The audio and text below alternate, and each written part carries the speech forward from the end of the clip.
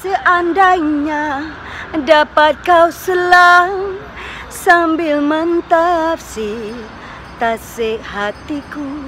Hai kepada semua pembaca media hiburan, kalau ada ingin menyaksikan saya untuk konsert High Notes, anda boleh dapatkan uh, di Tiket Pro. Nah, konsert ini akan berlangsung pada 25, 26 dan 27 hari bulan. Yeah.